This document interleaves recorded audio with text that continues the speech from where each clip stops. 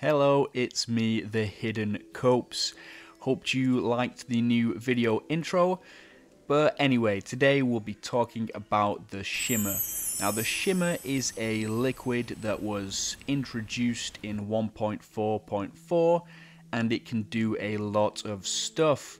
It can transmute items, it can transform NPCs into different aesthetic variants and the easiest way to use the shimmer currently to actually transform NPCs is with a bucket. However, if you've ever done this, you've probably ran into this problem.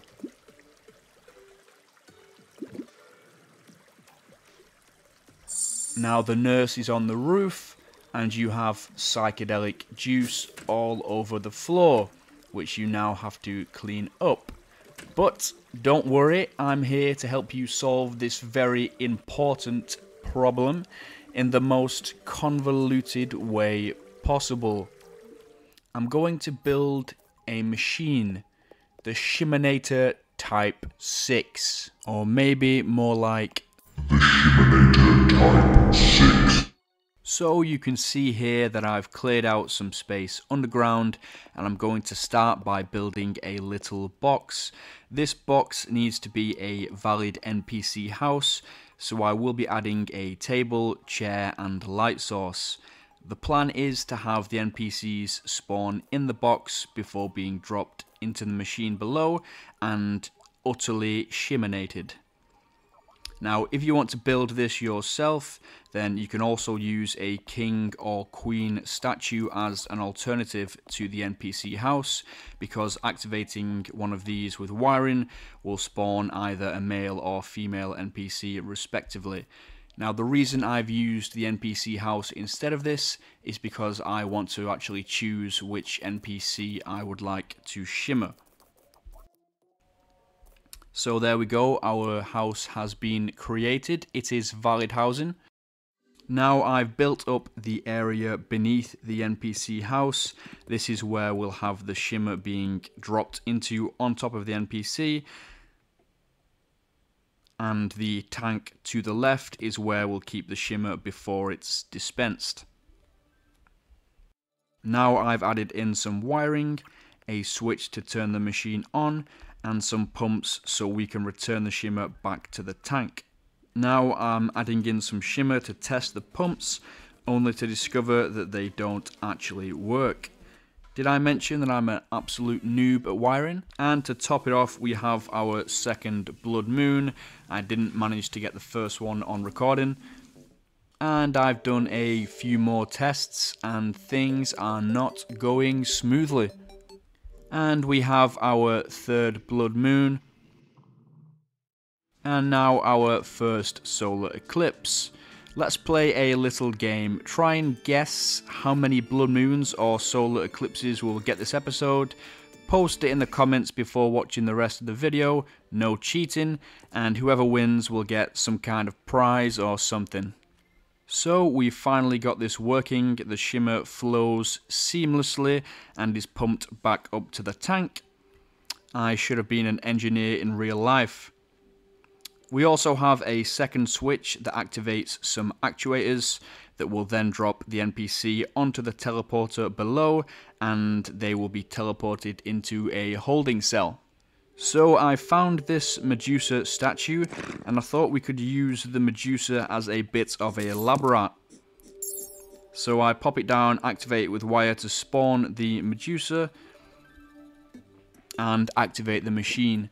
Now the Medusa does try and escape but she does in fact get shimmered and then turns invisible and then straight up disappears. I don't know, the shimmer does some weird stuff. And now we get to the fun part, decoration. So I want the Type 6 to look like a crazy random machine that was built by a mad scientist. Now I have been inspired by a certain dangerous machine type 6 and if you understood that reference, well, first of all, well done. Second of all, Nerd And this was the first design I tried, but it didn't quite click with me.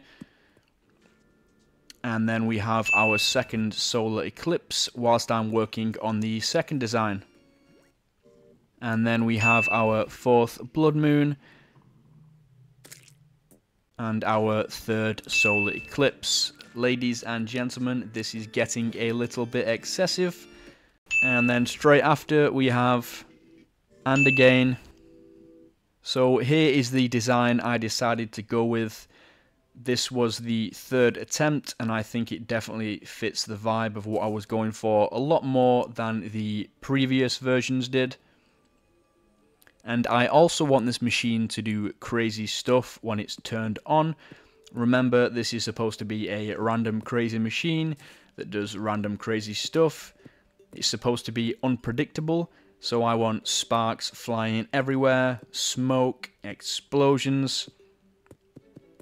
So here I'm just building a shift register with wiring so we can accomplish some of these effects and building this machine has really advanced my wiring skills.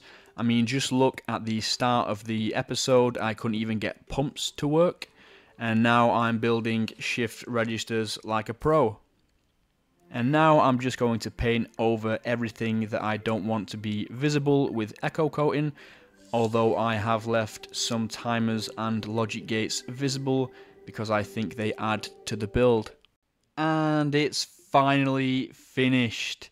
As you can see, the golfer is already in the machine and we're just waiting for him to walk into the center over the actuated blocks. I will be building his NPC house next and I will need him in his shimmered form for the build I have planned. And there we go, as you can see, he has been thoroughly shimmered. He is now looking like a fox well, I mean, he's supposed to look like a fox, but in my opinion, he looks more like an aardvark. But a design flaw has been revealed. So when an NPC is actually shimmered, they will shoot upwards, and this allows them to actually step onto the grates that I use to pour the shimmer liquid through, and prevents them from falling back down into the machine where they can be dropped onto the teleporter. So the reason this is a design flaw is the grate needs to remain unactuated because the liquid flows through it and if it receives a signal from wiring there is a chance that it will change states and not allow the liquid through it which will break the entire machine even more. But there is a pretty simple fix for this. All you'd need to do is just replace that grate with a copper block and then replace the copper block below the other grate with another grate and therefore the liquid would flow downwards and you can actuate the copper block up top which would leave no room or no space rather for the NPC to land when they shoot upwards and the machine should work pretty flawlessly. So whilst it didn't work completely this time, I'll just chill here for a bit whilst the machine's running and describe to you a bit about what's going on. So the on switch for the machine activates several contraptions. So I'll list a few of them. So we have a chimney and bulb machine on the left. The bulb machine is painted with echo coating so you won't be able to see it. We have a flame trap and chimney on the right. We have a dart trap up top which activates two firework fountains and a geyser as well. We also have two shift registers. They are what control the lights switching on and off on those little balls with the question marks. So yeah, I think altogether this turned out pretty pretty well. I know it didn't work completely the first time, but we know how to fix it and it looks fantastic. And here is a bonus clip of me shimmering and unshimmering the wizard over and over again before finally teleporting him out and into the holding cell. And in a moment I will show you all the wiring so you can attempt to build this yourself.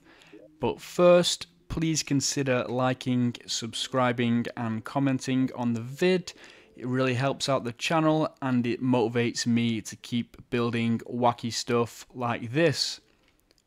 So I've popped on my Echo goggles and I'm holding a wrench so I can see all the invisible contraptions and all the wiring. And if you are crazy enough to have a crack at this yourself you can just pause the vid at any moment now and just copy all the wiring. If you are unsure about any blocks or any contraptions, like what they are, just ask me what they are in the comments below and I will always reply. Now for the stats. So I did miss another blood moon, I didn't hit record on time, so that brings our total blood moons up to 7 and our total solar eclipses up to 3. So congratulations to anyone who participated in that contest and won if anybody participated at all. And thank you very much for watching. I hope I've inspired you to make something crazy. And apart from that, have a wonderful day.